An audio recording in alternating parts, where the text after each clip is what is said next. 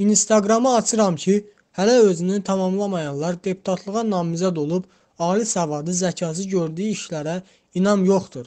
Yaşına, savadına görə seçilən olsa, heç nə demərəm.